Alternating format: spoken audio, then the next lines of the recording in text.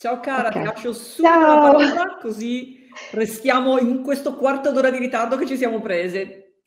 Benissimo, cerco di, di stringere, anzi faccio partire subito il timer così eh, cerco di rimanere nei tempi. Allora, intanto ciao a tutte, ciao a tutti, sono molto felice di essere qui e vi leggo nella chattina che ho lasciato qua di fianco per, per leggere i vostri commenti e facere l'inizio, un po' in viso. Assicurati di costruire la cosa giusta prima di costruirla per bene. A dirlo non sono io, ma è Alberto Savoia. Alberto Savoia lo dice nel suo libro, anzi nel suo prototipo libro, Prototype It. Sempre nel suo libro Alberto Savoia dice che ci sono tre modi per fallire. Non fare nulla, in stile opossum, avanti tutta, oppure provare. Se i primi due difficilmente portano a dei risultati, con la terza via forse qualcosa possiamo trovare di utile. È probabile che, eh, che vogliamo provare a fare sia la giusta, però l'unico modo che abbiamo per eh, capire se funziona è farla. Farla però non solamente nella nostra testa, ma nel mondo reale, quindi metterla in, in scena, no? direi sempre più spesso. Avere dei metodi, delle metodologie, dei percorsi preconfezionati eh, può sembrare la cosa più ovvia e più semplice da fare per non sbagliare. Eppure non è sempre così. Tutto si scrive la pandemia, c'è un lockdown e tutto quello che hai sempre fatto non funziona più. Quindi non basta spostare online quello che prima abbiamo sempre fatto in presenza, insomma ce lo siamo detti tutti e, e abbiamo anche imparato serve riprogettare, serve ripensare, serve cambiare. La parola cambiamento è, è una delle parole più, più gettonate no? in, questo, in, questo, evento, l'abbiamo detto in tanti. Il cambiamento eh, è l'unica costante della nostra vita, dicevo tempo fa, e, ed è anche il modo in cui possiamo eh, decidere di eh, voler provare a, a, a cambiare le cose, raccogliendo la sfida, e accettando eh, di imparare strada facendo. Eh, io oggi parlo come, come kanji perché siamo, insomma, è un, vi parlo di come abbiamo, io e Chiara, abbiamo riprogettato un servizio strutturato e molto complesso che mette insieme appunto le nostre due, due anime. E ci siamo dati una sfida. Nel momento in cui non potevamo più incontrare i nostri clienti in presenza, ci siamo fatti una domanda, una domanda generativa, no? come ci insegna il design. Come possiamo trasformare un servizio complesso e strutturato, fatto al 90%, al 90% in, in presenza, in un percorso lavorativo che però sia utile, fosse utile per i nostri clienti. Ma facciamo un passo indietro e diamo un po' di contesto se prima appunto i nostri incontri eh, co- con i clienti online erano eh, l'eccezione e non, e non, la prassi, ora invece sono mh, mm, la normalità, in mezzo a mille altri. Il fatto è che noi, guarda noi, noi kanji e noi freelance in generale, ma riguarda anche i nostri clienti. Anche loro sono spesso e, e quasi sempre online. E dobbiamo tener conto di questo fattore, perché ne ha parlato Fabiana prima, il famoso carico cognitivo non è semplicemente nostro, è solo nostro, ma è anche dei nostri clienti. Quindi la fatica è sicuramente nostra, che dobbiamo mm, eh, facilitare e moderare un, un, lavoro, un laboratorio con i, loro, con i nostri clienti, ma è anche loro che si trovano a dover essere al di là di uno schermo in questa dimensione che è bidimensionale, non più tridimensionale, dove manca qualcosa. E come possiamo fare per, eh, fare in modo che i nostri per fare in modo che i nostri clienti possano vivere e sperimentare un servizio per cui hanno pagato e ottenere un risultato che loro si aspettano. Allora, eh, c'è anche da dire che noi facevamo tutto in presenza, anche prima della pandemia, c'era qualcosa che eh, lasciavamo per l'online, soprattutto con i clienti più, più distanti geograficamente. Però eh, diciamo che per le situazioni un po' più complesse, dove eh, parliamo di strategia, quindi do, del dover sciogliere nodi, del dover aprire e smontare un problema, avevamo bisogno di essere in Quando questo è stato più possibile, ci siamo chiesti come poter fare. Abbiamo riprogettato un, uh, un, servizio grosso e complesso che nella realtà della, della presenza ehm, svolgevamo in 4-6 incontri dal vivo, con qualche momento in asincrono, via mail o su Google Drive, insomma. Eh, spostare tutto eh, online ci ha fatto riflettere sul fatto che già nel preventivo avremmo dovuto dire ai nostri clienti il percorso che avremmo fatto senza mettere un limite al numero di incontri e alla, insomma, al tempo che ci avremmo dedicato.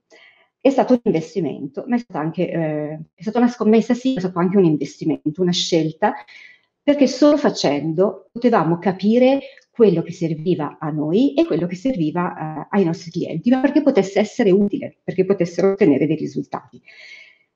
Portare online ciò che di solito abbiamo sempre fatto in presenza, appunto, è stata una grossa scommessa. Eh, non importa la pandemia, non importa la fatica nostra, il cliente paga per quel servizio e deve ottenere qualcosa di significativo. Risolvere e affrontare la complessità non spetta loro, spetta a noi, è nostra responsabilità. Devo dire che con la formazione invece è stato molto più semplice. L'ho raccontato anche molto bene Luisa Carrada nel, nel suo ultimo articolo, di cui Giorgio Trono ha, ha, condiviso, raccontato e ha raccolto diversi commenti nel, nel, gruppo del Freelance Camp. Se non l'avete visto, insomma, vi invito ad andare a leggere, sono degli punti molto interessanti. E, ehm, che cosa abbiamo fatto? Abbiamo eh, rinunciato a un guadagno e trasformato tutto in un prototipo. I prototipi eh, servono a fallire, lo ha detto Maria Cristina Lavazza in suo articolo, lo ripete Alberto Savoia nel suo libro. E, ma perché servono a fallire? Perché servono a imparare meglio. Servono a imparare meglio a capire quello che non ha funzionato, quello che può essere messo in discussione, e, lasciando aperto lasciando aperta la possibilità di cambiare nel mentre, questo cosa, cosa ha significato? Mm, nel, nel, nostro, nel, nostro, caso, che, che ho chiara io, eh, abbiamo fatto una, una, scelta abbastanza classica, abbiamo, abbiamo, scelto di non guadagnare, quindi abbiamo investito nelle nostre ore. Come? Eh, abbiamo mm, chiesto ai nostri clienti la stessa cifra, eh, anche se appunto con incontri, con incontri maggiori, ma la stessa cifra che avremmo chiesto con degli incontri in presenza, quindi per un servizio molto più ridotto in termini di tempo. Um, e abbiamo scelto di investire nella nostra presenza, tutte e due. All'inizio diceva sì, una parte la fai tiana, una parte la fa Tatiana e poi ci, eh, ci, ci ragguagliamo insomma nel, nel mentre. Eh, in questo caso abbiamo fatto una scelta di eh, sperimentarci tutte e due in presenza per poter capire se eh, effettivamente questo poteva giovare. In termini di ore no, perché ha implicato il doppio delle ore di tutte e due, quindi due persone eh, eh, insomma ehm, ferme per delle ore con, con il lavoro. Eh, però questo ci ha fatto capire che eh, registrando per esempio gli interventi, eh, le sessioni di lavoro con i nostri clienti, potremmo scegliere nel futuro di eh, non essere presenti tutti e due, ma l'altra può essere aggiornata riguardandosi magari la registrazione, non tutta, ma i punti focali che possono servirle per poi portare avanti la sua parte di lavoro, perché comunque sono eh, alcune parti si sovrappongono e una porta all'altra. Um, quindi abbiamo testato il prototipo dal punto di vista qualitativo, misurare quanto ci costa, eh, non solamente le ore di front, quindi nel lavoro effettivo con il cliente, ma anche tutto le, le, il lavoro di back, il confronto tra di noi, il, il capire il passaggio successivo, perché appunto non abbiamo un metodo preconfezionato per scelta, perché se sappiamo benissimo eh, da dove partiamo e il punto di arrivo, dobbiamo lavorare in mezzo, tenendo sempre ben chiara la, la direzione, quindi il nostro obiettivo, ma facendo, eh, ma, ehm, lavorando strada facendo. Perché eh, ci sono i blocchi, esattamente come avvengono in presenza. Ci sono dei momenti in cui va semplificata una parte, va, eh, si deve tornare indietro per riprogettare un altro pezzettino, rifare un pezzettino, testare e riconvogliare. Sono passati dieci minuti. Beh, il risultato è comunque che ci è costato il doppio. Quindi non ci abbiamo guadagnato nulla, anzi addirittura ci abbiamo perso, ma eh, questo perdere ci ha permesso di imparare, di capire come possiamo migliorare eh, nelle prossime volte, perché ovviamente non guadagnare, eh, non, è, insomma, non, facciamo attività di volontariato, no? dobbiamo mangiarci con, eh, con, il nostro lavoro, quindi dobbiamo capire come eh, appunto, fermo restando che il, il, il, risultato del nostro cliente deve essere assolutamente dato, dobbiamo ehm, sperimentarci e migliorare noi. Alcune cose ve le ho già dette, eh, ecco, le, la questione del darsi il prezzo, dare il prezzo al servizio, stiamo pensando e, e, e ragionando e proto, prototipando l'idea di eh, fare due forme di servizi, una solamente online e una invece mezza online e mezza in presenza, quando si può, per poter anche, insomma, appunto guadagnarci, perché insomma, appunto non viviamo di, di sola, di, di, di gloria.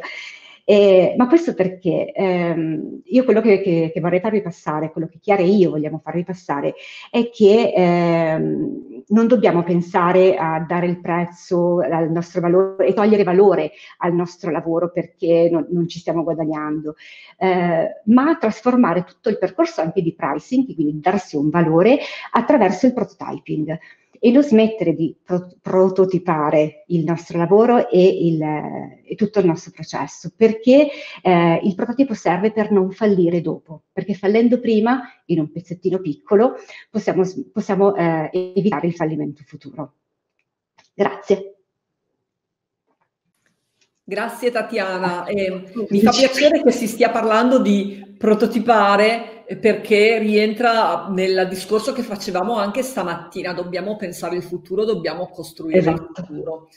Ti ringrazio di nuovo. Grazie mille a voi, vado a vedermi le domande se ci sono.